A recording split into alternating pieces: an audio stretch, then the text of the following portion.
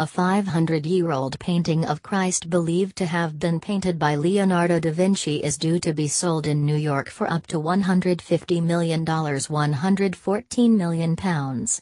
The painting is known as Salvator Mundi Savior of the World.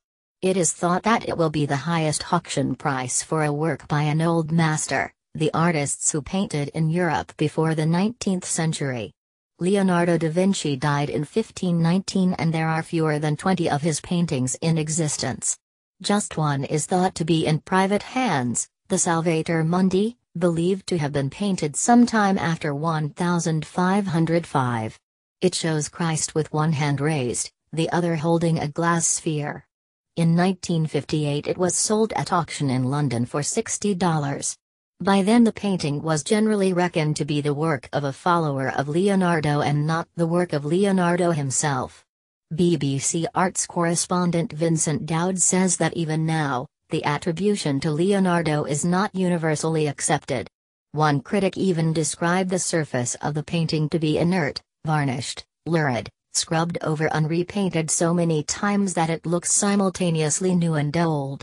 Any private collector who gets suckered into buying this picture and places it in their apartment or storage, it serves them right, Jerry Saltz wrote on Vulture.com.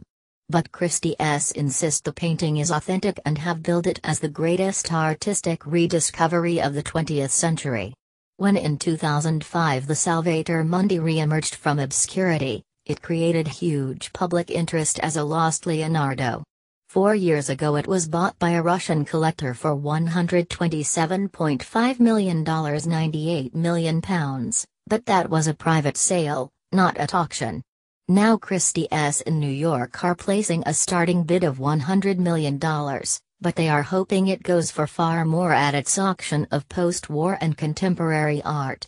Because prices for old masters have been static, the auction house believes that it is a wise move to give the portrait a guest slot next to modern work. That way, it feels, potential buyers will see Salvator Mundi not as a solemn religious relic but as an exciting work of art. Leonardo da Vinci 1452-1519